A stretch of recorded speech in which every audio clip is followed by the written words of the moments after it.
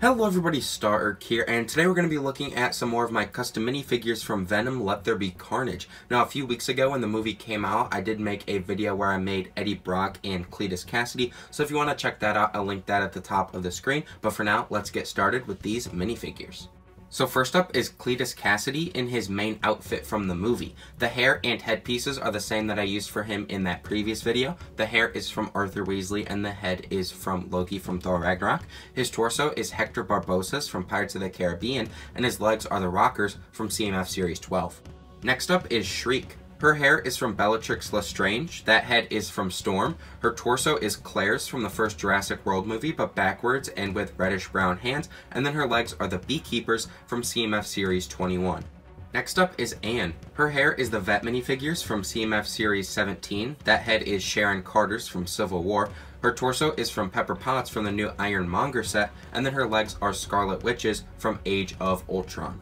And here is Anne when she transforms into Venom. The head is just the standard Venom head. The torso is Ravens from Teen Titans Go, but flipped backwards and with black arms and hands. The legs are just standard black ones, and then I also put a black one by one tile under each foot just to make her a little bit taller.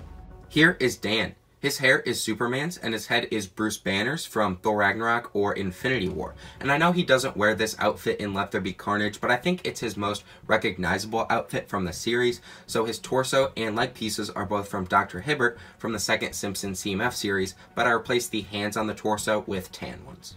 Next up here is Detective Mulligan. I got his hair from the Hydra Henchman minifigure from Age of Ultron. That head is Hopper's from Stranger Things. His torso is Nick Fury's from Captain Marvel, but I replaced the hands with tan ones. And then his legs are an Imperial Pilot's from Star Wars Rebels.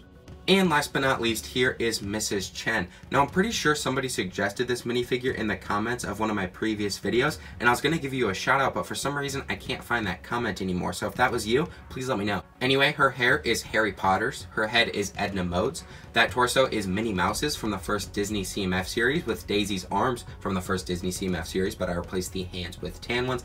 And then you don't really see her legs in the movies because she's always behind the counter, so I just gave her my favorite legs that I've been using a lot lately, Harry Potter's from the second Harry Potter CMF series. Alright everybody, that's going to do it for this video. I hope you enjoyed it. If you have any suggestions for videos I should make in the future, please let me know down below and I'll give you a shout out if I use your idea. Anyway, come back this Tuesday for a very special video you're not going to want to miss. See you then.